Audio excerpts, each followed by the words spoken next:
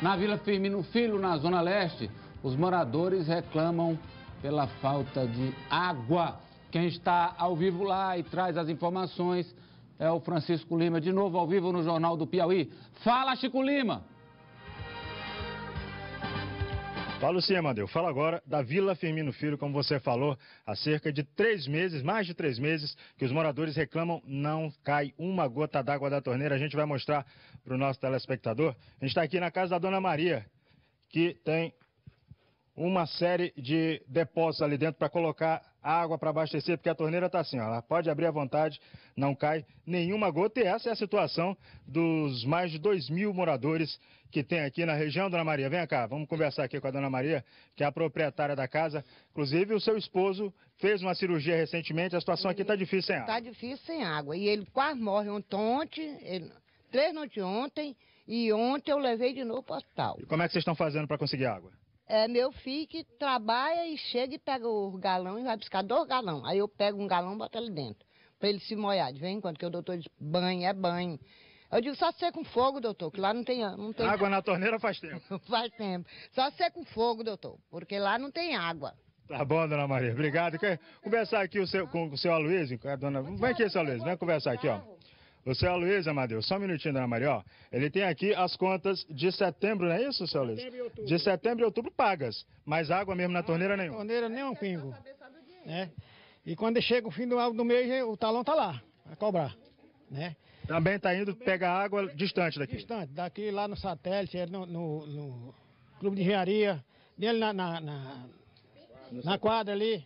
Isso aqui que o senhor Luiz está falando, Amadeu, é uma prática comum de todas as pessoas. Eles vão pegar água no escuro, à noite, geralmente a cerca de dois quilômetros para aqui. Vamos conversar aqui agora com a Maria Helena de Souza, que é uma das pessoas que tem é, atuado junto aos moradores, que ela mora aqui na região também, para tentar entrar em contato com a Gespisa. Maria Helena, o que foi que houve? Vocês chegaram a conversar com eles? A gente conversou com ele, a gente foi lá, foi eu, o seu Geraldo, o seu Abdias, foi o seu Ceará, foi o Zé Luiz e foi um outro senhor que é evangélico. Eles não viram na nossa cara que a gente não esteve lá, porque a gente entrou lá para conversar com o presidente da GESPISA junto com o vereador Dudu foi o que disseram para você? Eles disseram lá para nós que não podia fazer nada, porque a empresa já estava falida, já estava quebrada e não podia fazer nada, porque a caixa d'água daqui foi, foi já para lá, já tinha sido desviada. Então, se a gente mora aqui, a gente precisa de água, porque na casa do seu vereador, deputado, governador, lá nenhuma falta para nenhuma criança tomar banho e nem para fazer um lanche, porque ontem aqui, as comunidades aqui, as crianças aqui, nenhum foi para o colégio, porque não tinha uma gota d'água. Então, senhor prefeito, deputado, será que na sua casa falta água para você banhar? Não falta. Como é que vocês estão fazendo? Fazendo aqui ainda? Vamos buscar no satélite. É meu filho que vai buscar no satélite para casa dele, vai buscar para mim aqui. Os pessoal que tem carro, tem moto, vai buscar. As que não tem, vai buscar na cabeça. Isso é falta de vergonha daqui para os moradores daqui da, da Teresinense, que é os, os políticos deputados só precisam da gente aqui, quando vem atrás de ele, de volta que lascar da gente. Tá bom, dona Maria Helena tá chateada, Madeu, porque realmente a situação aqui é complicada, são quase quatro meses sem água. Geraldo, a, a gente conversou com o pessoal da AGESPISA. É, e o que eles disseram para a gente é que é, não houve nenhum tipo de contato de ninguém daqui da região da, da, da, Vila Firmino Filho não entrou em contato, que eles não sabiam que aqui faltava água e que agora que a nossa equipe entrou em contato com ele, eles vão mandar realmente alguém aqui para fazer essa manutenção. Mas o Geraldo participou de uma reunião com o presidente da Gespisa, que inclusive havia um projeto aqui de instalação de uma caixa d'água. Boa tarde, Amadeu. Amadeu, o que eu quero fazer a pergunta para o presidente da Gespisa, se ele lembra do projeto 162, que é da construção do reservatório de água aqui da Vila Firmino Filho Leste, porque nós somos lá, tivemos sentado com ele e a resposta que ele nos deu que a Gespisa não teria verba para fazer esse reservatório.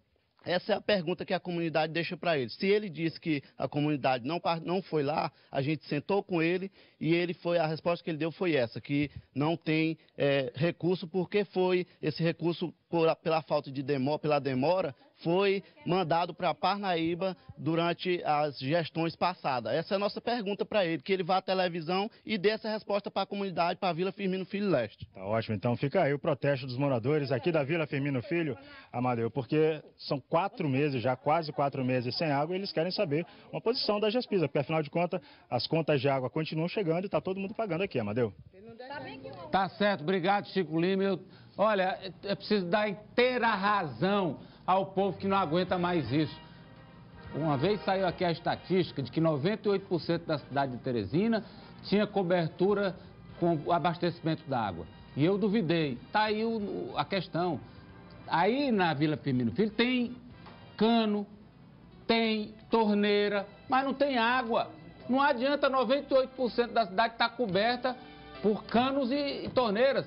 Tem que estar tá coberta por água. Quem está lá quatro meses sem água vai fazer o quê? Água para banhar, água para beber, para fazer alimentação, água para viver. Sem água não dá, rapaz.